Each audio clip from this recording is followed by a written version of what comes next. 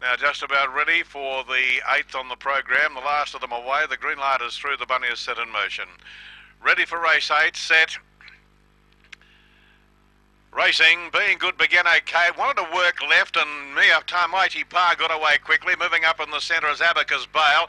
Uh, they were followed wider by Being Good. Crikey, it's back in the field at the moment for a twos on favourite. Next to the run, Faustina Fortune with Atomic Reaction. Down the back they go, and you don't want to be on the favourite. Master Kingpin and Locks are the leaders. They're three in front now of Abacus Bale. They were followed by Atomic Reaction, Faustina Fortune. Next home is Being Good as they turn the corner. This uh, Master Kingpin's in front trying to pick it up Locks Wish, but Master Kingpin, two beat, good beat Locks Wish. Six away, third Abacus Bale, Faustina Fortune. They were followed uh, home by Being Good, which fell going into the pen and fell badly.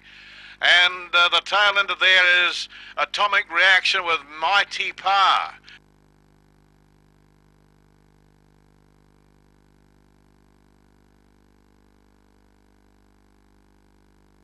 The winner of the race has won the Red Master Kingpin. One Red Master Kingpin is first, two the Checks, Lockswish second, six the Green Abacus Bale third, number three and fourth position. Favourite being good, falling badly going into the pen there, which didn't look good at all. The winner Master Kingpin by Slater out of Sparkling Bubble is owned and trained by Joe Muscat of Rouse Hill. Locks Wish, Adam Campton second with Abacus Bale, Chris Nutt in third position, 13.87 the time, 13.87.